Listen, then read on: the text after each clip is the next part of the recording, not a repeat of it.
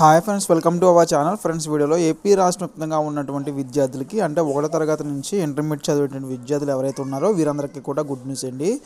అమ్మఒడి నాలుగో విడత డబ్బులు వేసేందుకైతే ఏపీ రాష్ట్ర ప్రభుత్వం అయితే ఏర్పాట్లు అయితే చేస్తుందండి. సో దీనికి సంబంధించి మనకి ఒక పది రూల్స్ అయితే దింపిందండి. సో ఈ యొక్క రూల్స్ అనేది మనకి డబ్బులు పడాలంటే అన్నీ కూడా పాస్ అయ్యి అయితే ఉండాలి. సో దీనికి సంబంధించి లాస్ట్ టైం కూడా ఈ రూల్స్ పాటించకుండా ఉన్న విద్యార్థులు ఎవరైతే ఉన్నారో వీరందరికీ కూడా అమ్మఒడి డబ్బులు పడలేదండి. సో ఏంటి ఆ రూల్స్? డబ్బులు పడాలంటే ఏం చేయాలి? సో మ్యాండేటరీగా మనకి ఈ డబ్బులు ఎప్పుడు వేస్తారు? సో కంపల్సరీ ఈ యొక్క డేట్ అనేది ఎప్పుడు రిలీజ్ చేయబోతున్నారని కూడా క్లారిటీగా అయితే మనం తెలుసుకుందాం. సో ఈ వీడియోని ఎవరు కూడా స్కిప్ చేయొద్దు. మొదటిసారి మీరు కనుక విజిట్ చేసినట్లయితే మన ఛానల్కి సబ్స్క్రైబ్ అయితే చేసుకోండి. సో ముందుగా చూసుకుంటే కనుక విద్యార్థులు ఎవరైతే ఉన్నారో వీరందరూ కూడా సో అమ్మఒడి డబ్బులు పడాలంటే కనుక లాస్ట్ టైం మనం చూసుకుంటే కనుక సెవెంటీ ఫైవ్ పర్సెంట్ అటెండెన్స్ అయితే చాలామంది విద్యార్థులకి అయితే అటెండెన్స్ అయితే రా లేదండి లేక చాలామంది విద్యార్థులను అయితే ఇనెలిజిబుల్లో పెట్టడం అయితే జరిగింది. సో ఈసారి మట్టి compulsory seventy five percent attendance వచ్చేలా మీరైతే స్కూల్స్కి కాలేజీలకి వెళ్ళాల్సి అయితే ఉంటుందండి.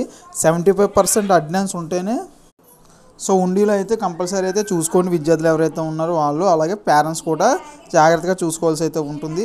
సో అలాగే చూసుకుంటే కనుక ఇంకా మనకి ఫోర్ ఫోర్ వీలర్ వెహికల్స్ అయితే ఉండకూడదు. సో అలాగే మనం చూసుకుంటే కరెంట్ బిల్ కూడా వీళ్ళైతే వాడకం కూడా త్రీ హండ్రెడ్ యూనిట్స్లోనే వాడాలి. మంత్లీ వచ్చేసి మనం చూసుకుంటే ఇలా ఒక త్రీ టైమ్స్ కనుక వాళ్ళకి త్రీ హండ్రెడ్ అబోవ్ కనుక మనకి కనబడినట్లయితే కనుక వాళ్ళని వాళ్ళకి నుంచి గవర్నమెంట్ నుంచి వచ్చే ఎటువంటి పథకం అయినా సరే ఇన్ఎలిజిబుల్లో పెట్టడం అయితే జరుగుతుంది. ఇది కూడా అయితే గమనించుకోవాలి.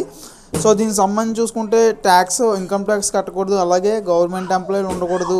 అలాగే ల్యాండ్ కూడా మనకి ఒక టెన్ ఎకర్స్ దాటి అయితే ఉండకూడదు. అలాగే ఇన్కమ్ కూడా హెవీగా అయితే ఉండకూడదు. అంటే మనకి ఒక పదిహేను వేలు ఇన్కమ్ పైన ఉంటే కనుక ఈ యొక్క పథకాలకి సంబంధించి ఇనెలిజిబుల్లో పెట్టడం అయితే జరుగుతుంది. ఈ యొక్క రూల్స్ అన్నీ కూడా ఈ యొక్క అమ్మఒడి పథకం ఏదైతే ఉందో ఒకటి తరగతి నుంచి ఇంటర్మీడియట్ చదివే విద్యార్థులకి ఇచ్చేటువంటి ఈ యొక్క పదమూడు వేల ఇన్కమ్ని సో ఇవన్నీ కూడా అయితే పర్ఫెక్ట్గా అయితే చూసుకోవాల్సి అయితే ఉంటుందండి ఈసారి మటుకి.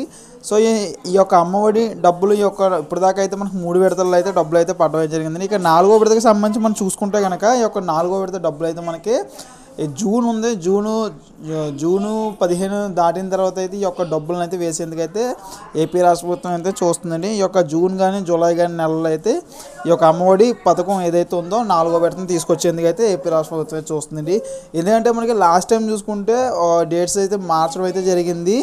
మనకి జనవరిలో తీసుకురావడం జరిగింది. అలాగే మనకి క్లాసులు అవి కరెక్ట్గా జరగలేదు కాబట్టి అప్పుడైతే అలా చేయడం జరిగింది. ఈసారి మటుకి పర్ఫెక్ట్గా అన్నీ జరుగుతున్నాయి కాబట్టి క్లాసులు అయ్యి విద్యా సంవత్సరం కరెక్ట్గా జరుగుతుంది కాబట్టి మనకి జూన్ కానీ జూలైలో కానీ ఈ యొక్క అమ్మఒడిని నాలుగో విడత ఏదైతే ఉందో ఈ డబ్బులు అయితే ఆ ఆ టైంలోనే వేద్దామని అయితే ఏపీ రాష్ట్ర ప్రభుత్వం ఆలోచిస్తుందండి.